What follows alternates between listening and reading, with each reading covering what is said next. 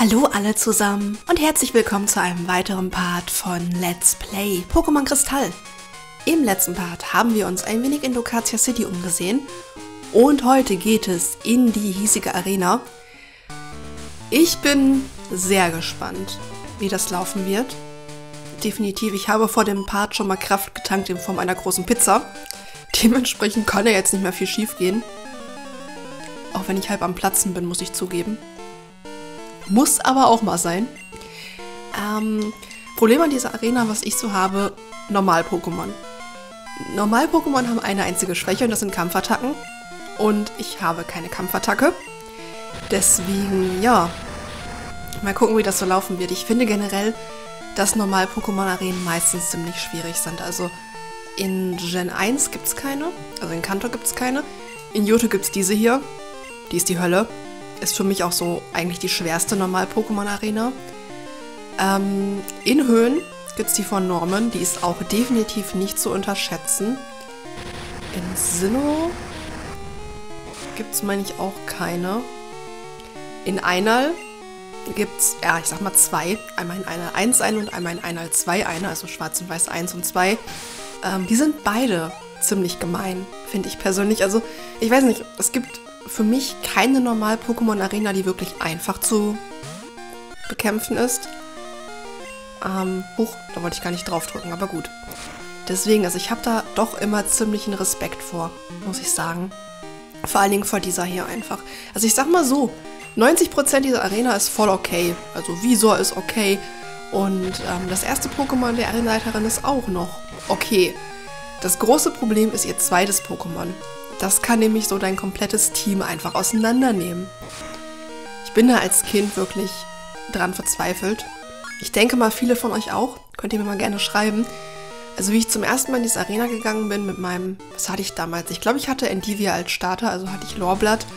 Äh, ich gehe mal von aus, ich hatte auch einen äh, Tauboga zu dem Zeitpunkt und einen Vati und ansonsten keine Ahnung, wahrscheinlich noch ein Felino, so wie ich mich einschätzen würde. Und ich bin in diese Arena gegangen und dachte mir so, ja, normal Pokémon hast du halt nichts äh, sehr Effektives, aber kommst halt schon irgendwie klar. Ging alles super gut und dann kam die Arenaleiterin, erstes Pokémon, ja, lief noch ganz gut. Und dann kam ihr Signature-Pokémon und hat mich so auseinandergenommen. Und ich war geschockt damals als Kind. Und sie hat mich auch noch zwei oder dreimal auseinandergenommen danach, bis ich das geschafft habe. Und seitdem habe ich mir eigentlich meistens angewöhnt, ähm, wie gesagt, Ducatia City erstmal hinter mir zu lassen, weiterzugehen, weil da kommen noch ein paar mehr Trainer und dann erst in die Arena reinzugehen. Weil ansonsten, also das, vor allem wenn du viele Pokémon hast und dementsprechend vom Level her ein bisschen niedriger bist vielleicht, als ich jetzt, ist es die Hölle. Also ich habe da echt Angst vor, muss ich sagen. Ich glaube, es ist auch so, ich weiß nicht, wenn man mal im Internet nach irgendwelchen Pokémon-Bildern sucht, nach irgendwelchen Memes oder so, du wirst ziemlich viel zu dieser Arena finden, weil es ist einfach ah, so böse. So, so böse.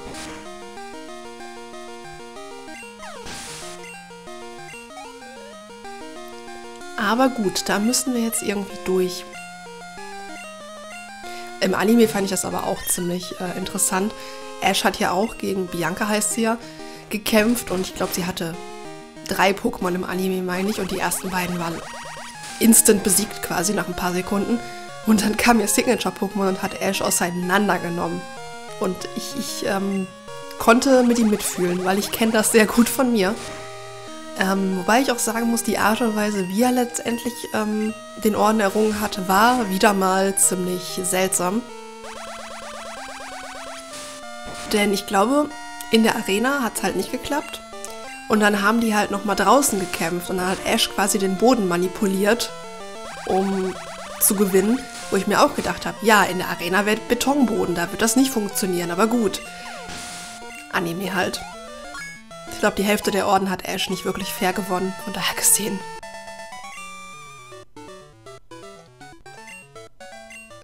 So. Hätten wir dich auch. Hm. Du hast noch nicht in der Arena gekämpft, dann kommst du jetzt mal nach vorne. Fun Fact: In dieser Arena stehen ja jede Menge Kisten hier mit Blumen, nehme ich mal an. Wenn man sich das Ganze von ganz oben anguckt, was man hier jetzt natürlich nicht so gut sehen kann, dann sieht das Ganze aus wie ein Pipi. Ja, die Kästen in dieser Arena sind aufgestellt wie ein Pipi. Das sieht man so im normalen Durchspielen nicht unbedingt, aber wenn man sich mal Screenshots davon anguckt, also wenn ihr zum Beispiel mal ähm, auf irgendwelchen Pokémon-Seiten ähm, nach dieser Arena hier sucht, nach Bianca oder auch nach Lucatia City, was auch immer, einfach nach dieser Arena, dann werdet ihr mit Sicherheit Bilder finden, wo ihr halt den kompletten Aufbau der Arena seht von oben. Und da sieht man halt ganz gut, dass es ein Pipi ist. Was ich ziemlich cool finde, ehrlich gesagt. Das war ein Volltreffer, das hat man schon gesehen. Also ich mag solche Details irgendwie voll gerne. Ist auch nicht. Es ist dann so von wegen, wir haben die Arena nicht einfach nur random aufgebaut. Wir haben uns da auch was bei gedacht. Weil ich finde, vor allen Dingen in Normal-Pokémon-Arenen ist es immer. Hier kann man das vielleicht halbwegs sehen. Hier müssten Pipis Augen gerade sein. Und dann hier sein Mund. Ja, kann man sich von hier aus jetzt schlecht vorstellen, ist aber so. Ich finde das in Normal-Pokémon-Arenen immer ein bisschen schwierig, ein Design zu finden, weil letztendlich Wasser-Pokémon-Arena machst du ein bisschen Wasser, ne? Und Feuer machst du irgendwie so ein bisschen paar Flammen oder alles so ein bisschen rötlich angehaucht. Und bei normal finde ich das immer schwierig. Ähm, ich meine, so wie Norman hat hier einfach nur, ich sag mal, Räume. Ähm, Aloha hat eine Bibliothek. Bianca hat hier diese Kisten rumstehen. Also ich finde das gar nicht so leicht, da was zu finden, designtechnisch. Ich finde aber auch, dass der Normaltyp irgendwie immer so ein bisschen zu kurz kommt. Also das hört sich jetzt doof an, aber allein die Typbezeichnung normal. Was, was, was ist denn schon normal? Wer definiert denn das? Niemand ist normal. Wir sind alle ein bisschen bekloppt und ich weiß nicht, für mich gibt's. Ich benutze auch oft normal, wenn jetzt jemand meint, ja, wie lief deine Prüfung? Ja, normal, so, ne, mittelmäßig oder was weiß ich. Oder was für eine Haarfarbe hast du? Ja, normales Braun oder. Na, ihr wisst, was ich meine. Ich benutze das auch ziemlich oft, aber eigentlich gibt es doch überhaupt keine Definition von normal und normal beschreibt doch irgendwie nur so den Durchschnitt, so ein bisschen irgendwie. Also ich weiß nicht, wer auch immer uns vorgibt, was normal ist. Ich habe ziemlich oft normal gesagt. Ist vielleicht normal in diesem Zusammenhang oft normal zu sagen, ne? Achso, die ist immer noch blockiert. Nee, also weiß nicht. Ich finde, das klingt so ein bisschen abwerkend dem Typ gegenüber. Und, ähm, auf damit. Ich denke mir auch so in so Spielen wie zum Beispiel Pokémon Ranger gibt es ja Pokestärken. Und jede Pokestärke hat irgendwie voll was total Cooles und normal macht eigentlich nicht sonderlich viel. So als Beispiel. Normal ist auch gegen nichts besonders effektiv. Hat dafür natürlich auch nur eine Schwäche, aber trotzdem. Oder in Pokémon XD, im Kryptorbis, falls das jemandem was sagt, muss man die Pokémon quasi so aneinanderreihen, dass sie immer gegen das nächste Pokémon effektiv sind und gegen das vorherige anfällig, sag ich mal. Und da ist der Normaltyp eigentlich auch nicht gut aufgehoben. Weil, ne? mit dem Typ Schwächen und Typ Vorteilen ist das halt echt ein bisschen schwierig. Deswegen, also, ich weiß nicht, ich habe immer das Gefühl, dass der Normaltyp so ein bisschen zu kurz kommt, obwohl er nicht zu unterschätzen ist. Ist nur so meine Meinung. Okay, dann gehen wir doch mal raus. Die Frage ist, was mache ich gegen sie? Also gegen Bianca. Ihr Signature-Pokémon wird mich ziemlich platt machen. Ich könnte versuchen, es zu vergiften. Weil auch wenn sie sich heilt mit Tränken oder wenn sie, sie hat glaube ich auch eine Attacke zum Heilen, wenn sie die benutzt, die Vergiftung bleibt. Einschläfern könnte ich es natürlich auch, aber dann wacht es wahrscheinlich irgendwann wieder auf und nee. Also werde ich auf jeden Fall Lana da in den Kampf schicken. Wie viele Tränke habe ich? Ich habe acht Tränke. Habe ich Supertränke? Drei. Und ein Beleber, das ist schon mal nicht schlecht. Okay. Ähm, ich denke einfach. Mh, hm, ich würde Isuna ungerne gegen ihr Signature-Pokémon rausschicken, weil das Ding kann Walzer und Walzer ist halt sehr effektiv gegen mein Igelaber. Und das ist halt auch der Grund, warum dieses Miltang so unendlich stark ist, weil Walzer einfach immer stärker wird. Deswegen würde ich da, wie gesagt, Igelava ungern reinschicken.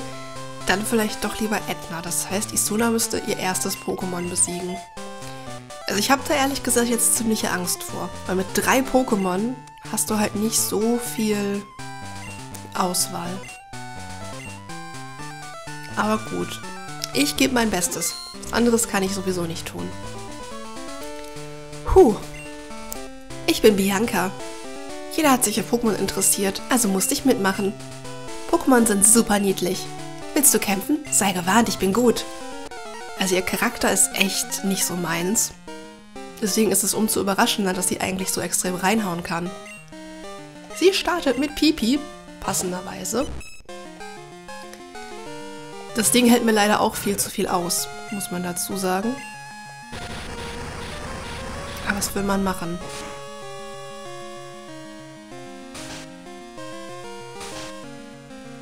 Wetten, das Ding trifft jetzt elendig oft. Ja, dreimal geht.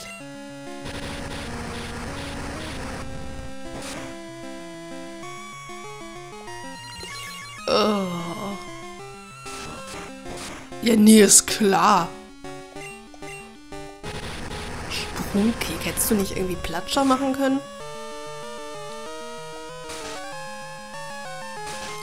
Ich überlege, ob ich mich vielleicht heilen möchte dass ich ein bisschen fit bin. Ich glaube, ich mache das auch einmal. Oh Gott. Stampfer. Das tat sogar ziemlich weh. Frage ist, reicht die Glut jetzt? Okay. Damit kann ich leben mit dieser Ausgangsposition. Jetzt kommt Miltank. Kann ich ihr nicht etwa das Ei an den Kopf werfen? Dieses Pokémon ist so OP. Weil es tut einem einfach weh. Das hat sich sogar gereimt. Das ist schon mal gut. Okay. Nett. Das Problem ist, der Walzer tut ziemlich weh weil es jede Runde einfach stärker wird und ja. Ich meine, so denkt man sich, ja, ne, ist ja nicht so viel Schaden. Wir können halt nur hoffen, dass die Attacke mal daneben geht. Wow, macht das viel Schaden. Wie viel Schaden macht der Zerschneider im Gegenzug? Ich meine, ihr seht, um wie viel diese Attacke stärker wird. Das macht überhaupt keinen Schaden. Ähm das trifft auch noch die ganze Zeit. Wunderbar.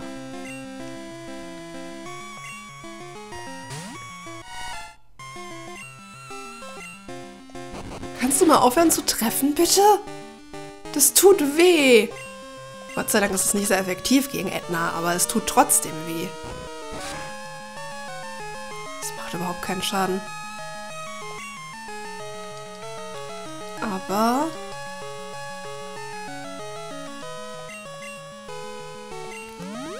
Ich möchte jetzt ehrlich gesagt nichts riskieren mit dem letzten Walzer. Oh! Also dafür, dass das nicht sehr effektiv war, ne? Aber ich habe eine Limo. Ich glaube, ich benutze jetzt lieber mal die Limo. Die hält mich nämlich voll. Also ohne Heil-Items diese Arena zu machen, ist übrigens auch krank. Da muss man nämlich vorher unendlich viel trainieren.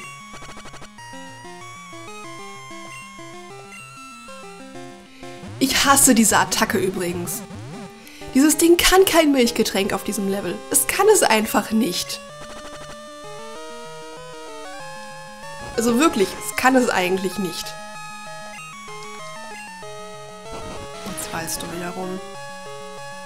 Noch macht das nicht viel Schaden. Ich kann versuchen, ihre Genauigkeit vielleicht zu senken.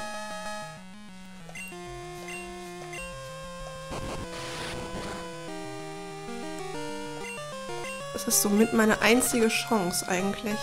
Oder ich besiege es. Puh. Ihr versteht, glaube ich, warum Miltang so böse ist. Also ich nehme mal an, die meisten von euch wissen das sowieso. Aber diese Kombination aus dem immer stärker werdenden Walzer, der dann vielleicht auch fünfmal hintereinander gleich trifft, und dem Milchgetränk ist echt böse und du machst dem Ding einfach keinen Schaden. Oh, du bist gemein. Du solltest nicht so ernst sein. Du, du Kind, du, du hast mich plattgewalzt mit deiner dicken Kuh. Jetzt heul mir nicht die Ohren voll. Du bist gemein. Oh nein, du hast Bianca zum Weinen gebracht. Keine Sorge, sie beruhigt sich bald wieder. Sie weint immer, wenn sie verloren hat. Okay. Oh. Was, du, was willst du, ein Orden? Oh, stimmt, ich vergaß. Hier ist der Basisorden. Also das lief eigentlich besser, als ich gedacht hätte, um ehrlich zu sein. Mit Hilfe des Basisordens können deine Pokémon stärker auch außerhalb eines Kampfes einsetzen. Außerdem erhöht er die Init deiner Pokémon. Oh, das hier ist auch für dich. Oder so. Ist das nicht Anziehung? Es ist Anziehung. Es bringt den Charme eines Pokémon voll zur Geltung. Passt das nicht perfekt zu einem süßen Ding wie mir? Nein, ich denke nicht. Aber gut. Hätten wir diese Hürde auch genommen. Bin ich ja eigentlich ganz froh, dass das halbwegs gut funktioniert hat. Huch.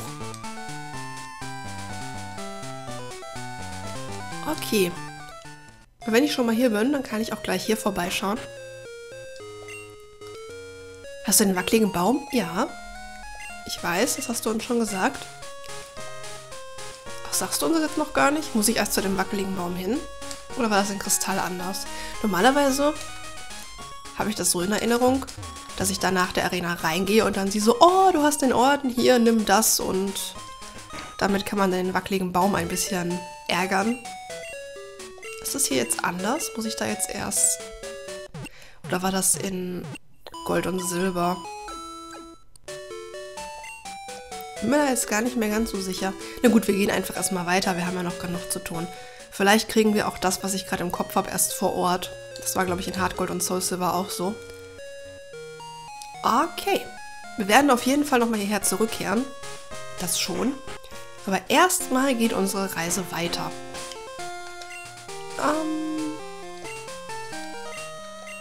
So. Passt. Was haben wir denn hier stehen? Route 35. Und dahinter ist ein Baum mit Rätselbeeren, das weiß ich ganz genau. Gehst du auch zur Pokémon Arena? Ich glaube, ich komme gerade aus der Arena. Aber zur nächsten gehe ich auch, ja? Da habe ich auch ein bisschen Respekt vor. Mal gucken, wie das so laufen wird. Aber da haben wir noch ein bisschen Zeit. Vulpix ist so ein schönes Pokémon. Äh, Sternenschauer.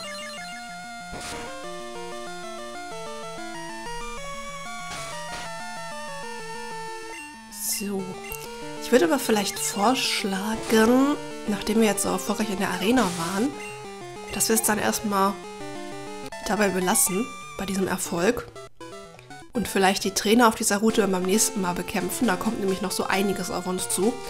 Ist der Part nicht ganz so lang wie die anderen, aber muss ja auch nicht unbedingt sein. Du hast aber auch irgendwie Zuckungen, kann das sein? Meine Güte. Gut, ich würde sagen, das war's für heute mit Let's Play Pokémon Kristall. Und wir sehen uns beim nächsten Mal wieder. Bis dahin.